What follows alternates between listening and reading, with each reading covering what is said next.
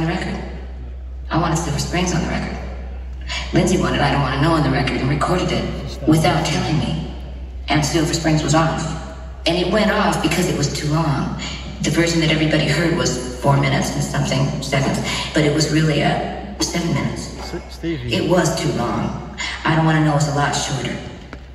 The choice to take Silver Springs off and put I Don't Want to Know on will go down as the biggest question in history on whether that was the right thing to do or not.